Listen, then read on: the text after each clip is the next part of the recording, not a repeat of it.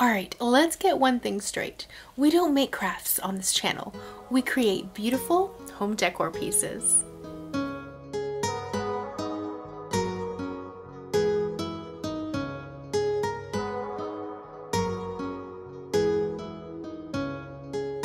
Hey there, my name is Yami. I am your Latina next door. Welcome back to my channel. If you've been following along, you know that we purchased this home almost two years ago, and we have been trying to update it and decorate it to fit our style. Now, if you like to be inspired with beautiful home decor and DIY projects on a budget, please make sure to give this video a like and subscribe so that you too can become part of the familia.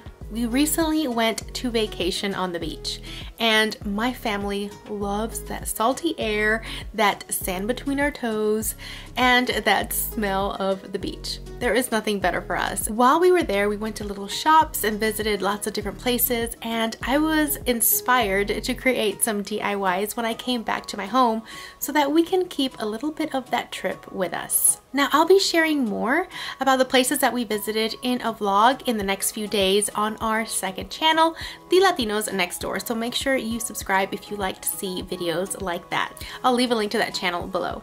So once I came back, I got to working, and this is what I came up with. Alright, so for this first DIY, we're going to be using some of these pre-cut wood pieces. You can get these at your local craft store. Now, I had originally intended these for my Look for Less video where I recreated these Pottery Barn wood statues. However, they ended up being too narrow for that project, so I just kept them in hopes of creating something in the future. And I thought this would be a good time to do so. They weren't as long as I needed to, so I decided to go ahead and take two of them and glue them together with some wood glue. After I put the wood glue on, I used some wood clamps in order to make sure that the seal was nice and tight and the wood would not come apart. Once they were dry, I took my little miter saw kit and placed it inside and cut both ends at a 45 degree angle. Once it was cut, I sanded down all of the borders, making sure that there were no harsh edges. I did use a little bit of wood filler at the seam where both pieces of wood came together, and I also sanded that area. Then I placed a dowel in the center and cut it with my miter shears. And you probably know by now that I am making a little sailboat. Then I took my drill and some drill bits and decided which one would work best. Did y'all know that my husband got me my own drill and my own little set of drill bits so that I don't have to grab his? I'm so excited. I drilled the hole about halfway down and then once I was done I added a little bit of wood glue and stuck the dowel inside. Then I went ahead and gave it a coat of early American wood stain. I have been using the stain a lot lately in all of my DIY projects, so I thought I'd go ahead and keep it all nice and consistent. Now for the little sail, I decided to use this ticking fabric that I had left over from a previous project. I had already cut it down and I thought this would be perfect to just use a little bit more of this fabric in this project. I cut two right triangles on either side since they already had seams and then I hemmed the other two sides.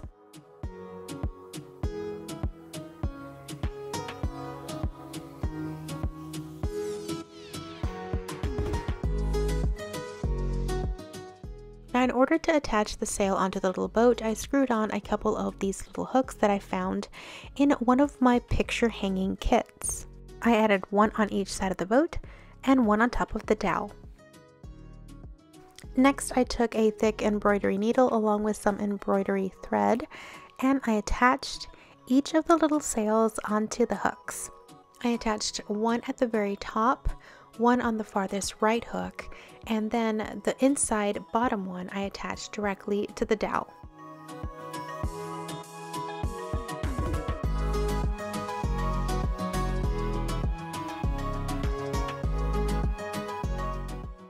Once these were attached, this is how my little sailboat turned out.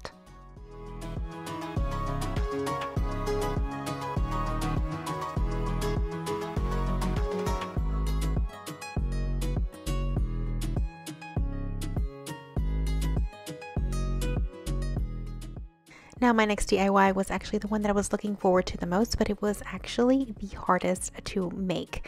Now, this tray I got at Hobby Lobby for $7.99, but it was on 40% off, and I thought it was just the perfect size for these beautiful sea glass pieces of glass that I had purchased while I was on vacation thought it would be such a sweet idea to have like a mosaic tray for a bathroom that I could always have and remember our trip by.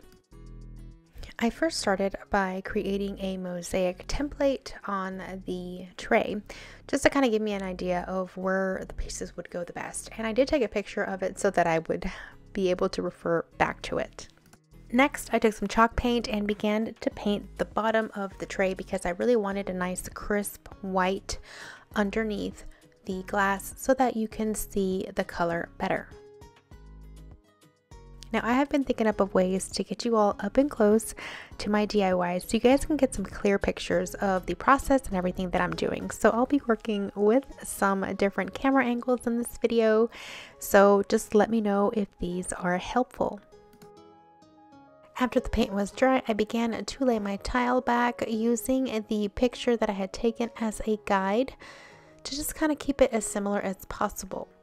And here is what I mean. If you don't cover the entire bottom of the glass piece, you might end up with little areas that you can see like that. However, no matter how hard I try and how much glue I put on, I still got a couple of bubbles underneath.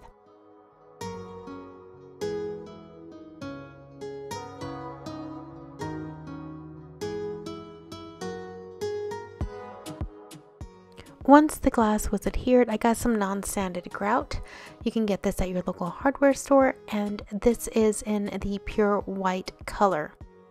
Now, since I didn't need to use that much for my project, I just poured some out and mixed it in a little solo cup.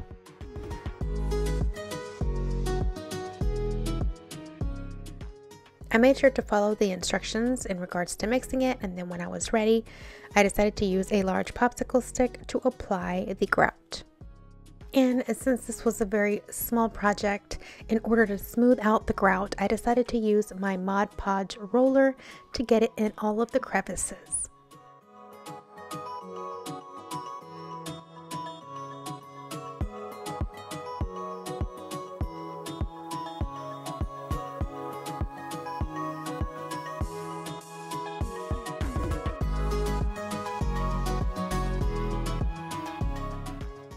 After waiting the adequate amount of time, I came in with a wet rag and began removing all of the grout from the little sea glass pieces.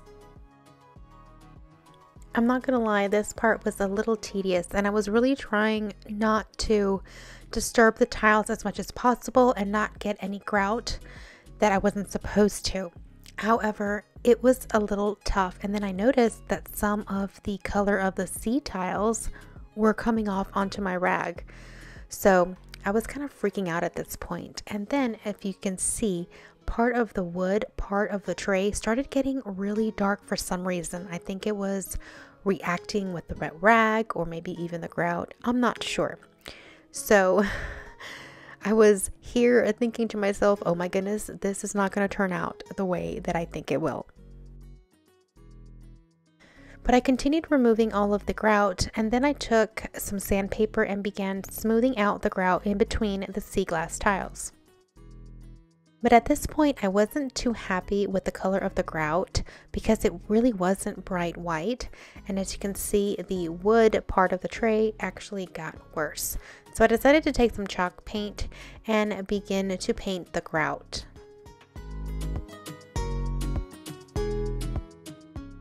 I also took the chalk paint up the sides of the tray as well as the top rim.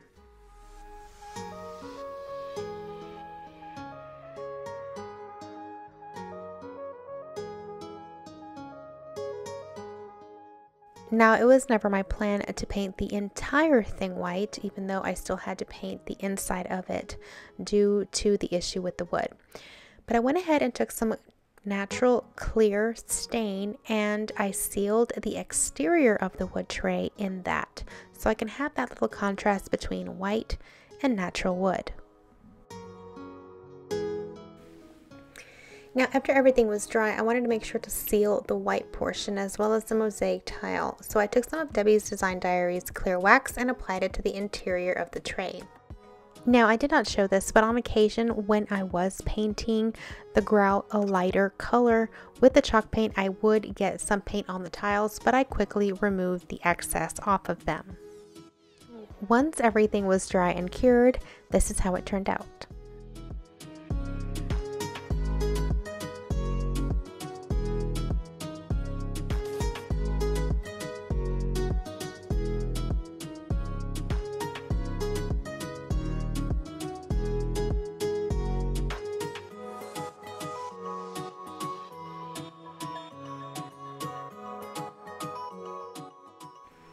Now, while I was on vacation, I did happen to stop by at a Dollar Tree while I was there to see if they had any more nautical or coastal theme items in their store.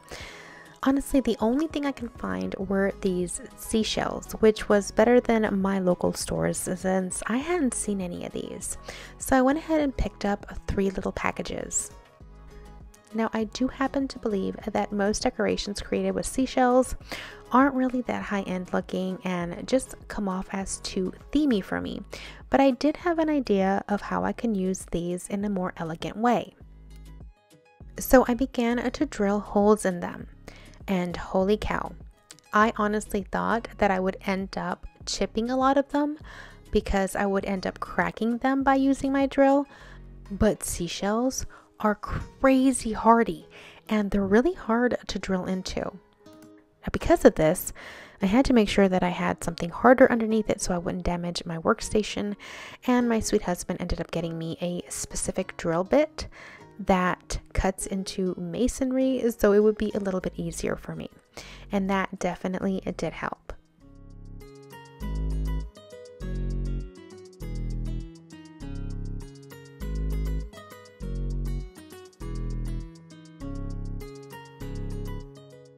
For what I needed, I ended up using almost two bags.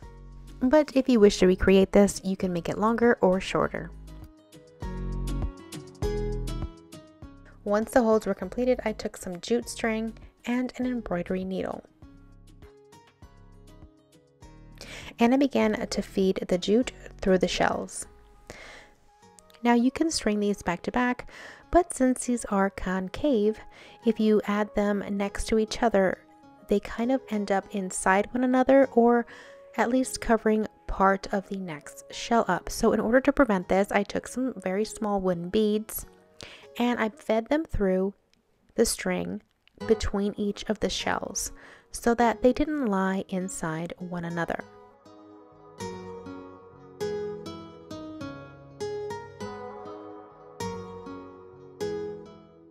This is one of those projects where you can be listening to a podcast, watching TV, or chatting with your little kid.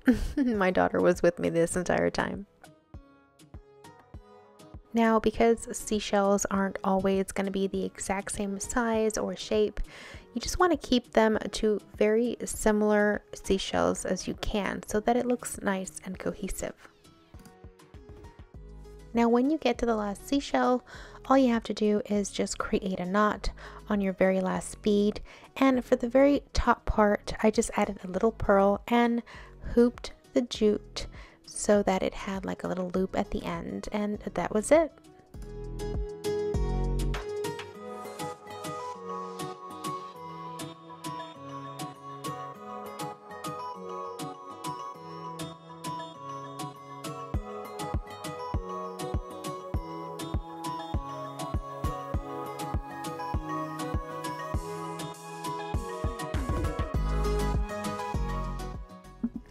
So for this next piece, we're going to be using a couple of pieces from Dollar Tree.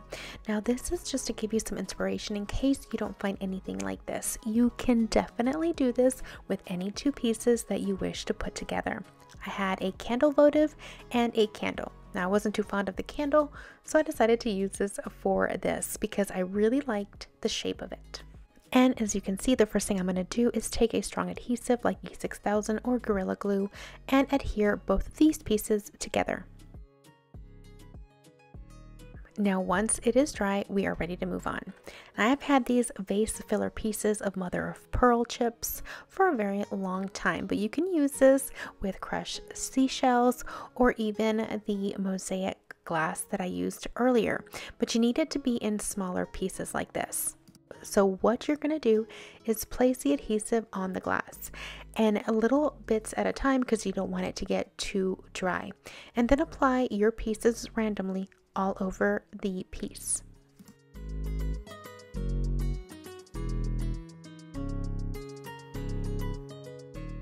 Now, the application does not have to be perfect, but you want to make sure that they are stuck on there very well, so press firmly.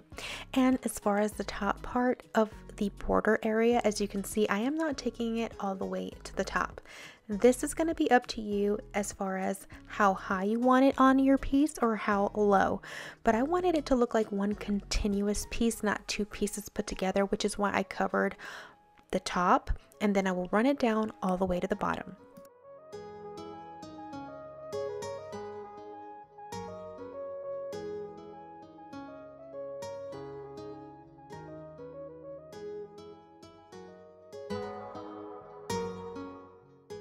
Now once you make sure that all the pieces are dry and completely adhere to the glass, you want to add some grout. And I use the same grout as I did with my little tray that I did earlier.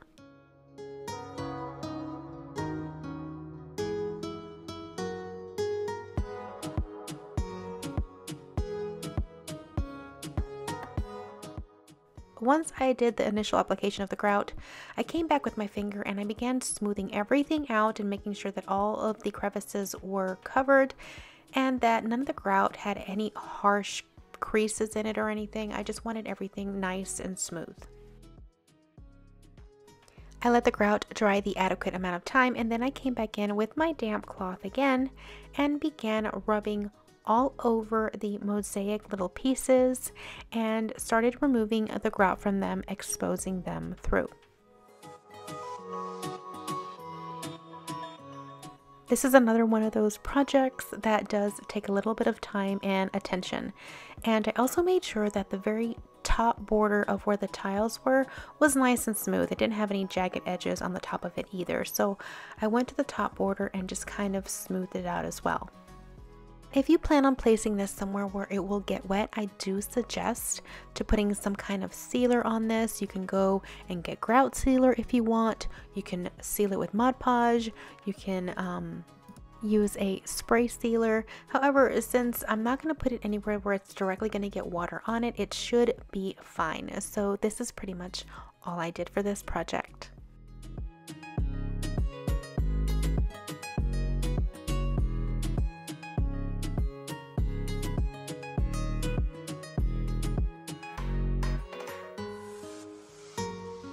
Now what's so nice about this is that you can also see the little mother of pearl pieces on the inside of the glass. Here I added a little bit of sand because I was including a little votive so that I can light it up. Alright, so for the next two projects, I'm going to be creating some art pieces that are going to be totally different from one another. I've had this frame for a while now. I haven't used it. It's been like this for years, but I haven't thrown it away. And I just I haven't had a need for it and it's not really my style, so I decided to use it for this DIY. The first thing I did was flip it over and remove the cardboard that was inside. Now I'm not going to be getting rid of the cardboard because I will be using it for this project. Now in order to give it more of a coastal feel, what I will be doing is adding some chalk paint to this frame. This color is Hazy by Folk Art and I'm not going to be covering it completely. I'm just going to be doing a once over, making sure I get into all of those little nooks and crevices.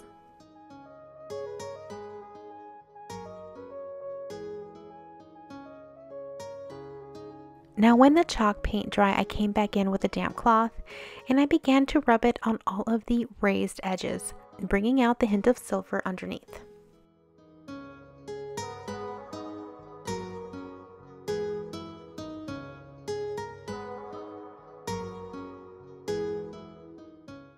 Now this was already giving it a beautiful coastal vibe, but I came in with some of Debi's Design Diaries white wax just to give it a little bit more of an aged beach look. And I took a stenciling brush, dabbed a little bit of the wax off, and then I kind of rubbed it all over. I would do this in small sections, get my rag, remove the excess off the raised areas, and then continued to apply the white wax to the rest of the frame.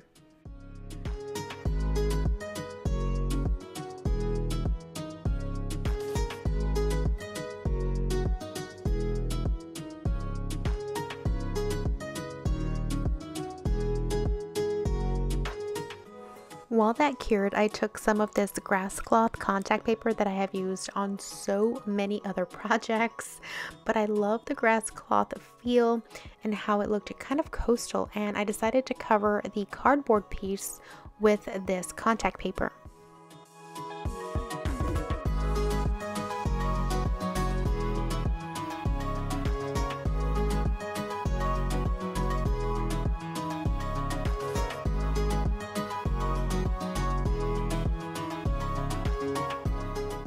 Once I adhered it, I put it back into the frame.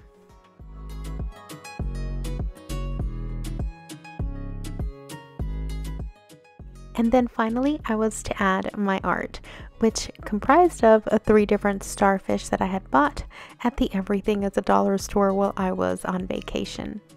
And I just adhered them with some hot glue.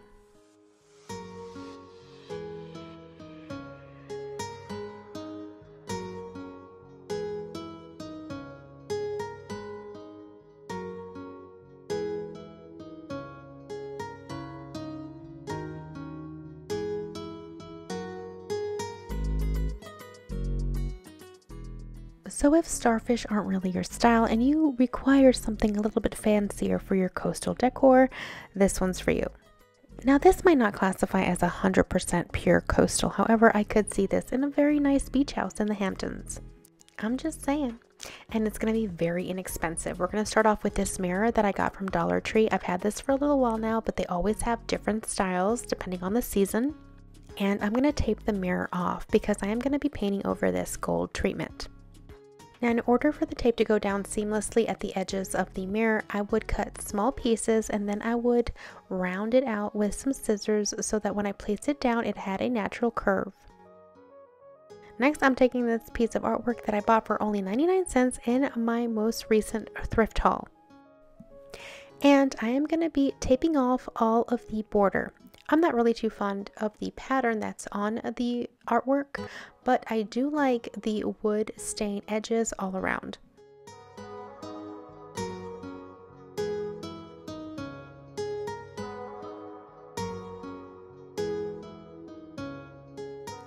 Now I want to add a border around the top of the frame. So what I'm doing here is measuring some square dowels and I'm cutting them down to the length of each side of the artwork and I'm cutting them with my miter shears to give me nice mitered 45 degree angled cuts. I always have these shears linked below because I do get questions on them. These things make crafting so much easier and they cut dowels like butter. Now once I cut all of my dowels, I place them on top of the art piece, but I don't adhere them just yet. And I place the mirror on the center of where I want it to go. I just wanted to make sure that I knew exactly how much space was between the center mirror and the border. And then I used some E6000 and applied it in several areas over the back so that I can adhere it onto the original piece of artwork. I did do a couple of dabs of hot glue just so that it would keep it in place while the rest of the glue dried.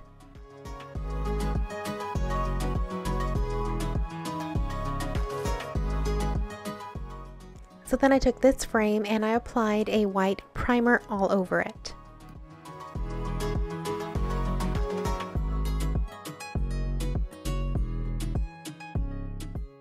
And then I used some Rust-Oleum white semi-gloss spray paint that I already had on hand.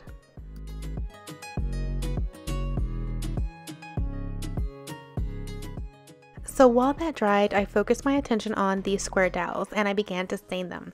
I first started with Early American, but it was too light because I was trying to match the stained wood border around the original frame. So I ended up staining over this with some stain in the color Mocha. Now while the stain did not end up being an exact match to the original, I did get it as close to it as possible. So I brought the original piece of artwork in once it was dry and I removed all of the tape.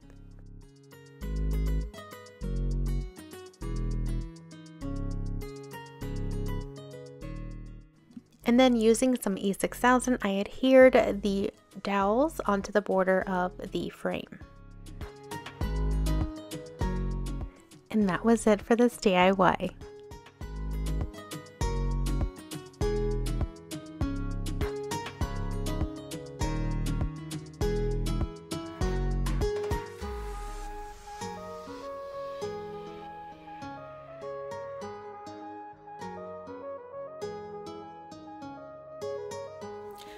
That is it for today's video. If you enjoyed it, please make sure to give this video a like and let me know in the comments below which one of these DIYs was your favorite. As always, thank you so much for your love and for being here. This channel would not exist without all of you. So I wanted to take a quick moment and say thank you for all of the love and support and the sweet comments you guys always give me on my videos. I appreciate it more than you know. Don't forget that this Sunday I am bringing you a bonus video, a Christmas in July special edition video for you all. And as always, I'll see you next week with another home decor and DIY video. Until then, adios!